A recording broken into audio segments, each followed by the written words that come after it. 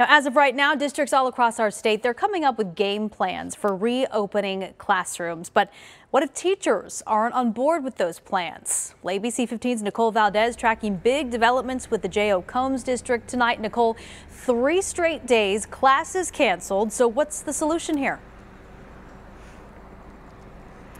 Well, it was a long night, but the board approved virtual only learning to start tomorrow with the earliest possible date to bring students back, August 31st. That decision, though, not made easy. A ton of back and forth tonight. Some teachers say no. We're trying to be responsible for your kids. Some parents say yes. I know what's best for my son, not the teachers.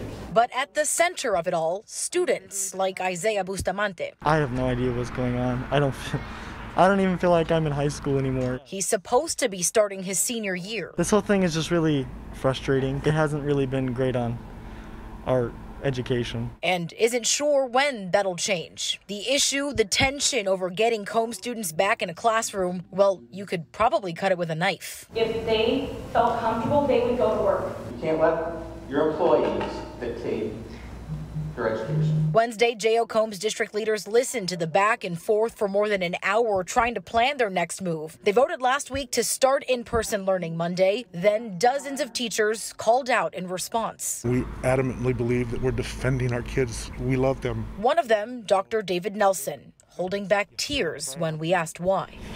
I don't want to hurt these kids, but I don't want to go to another damn funeral, and I've been to five. So you ask me why? That's why. But then there are parents like David Brennan. They need to be held accountable. I do not support this at all. This is ridiculous. These kids need to learn. Who says enough is enough? They have a contract. Hold them to that. Fine them for leaving. It's tough for me to feel bad for them. I do. I understand their their point. But find another job then. And again, J.O. Combs students will be back to online learning tomorrow, in person delayed until the end of the month. But the board will meet again on August 27th to see where they stack up in terms of benchmarks before pulling the trigger. Live in Santan Valley tonight, Nicole Valdez, ABC 15, Arizona.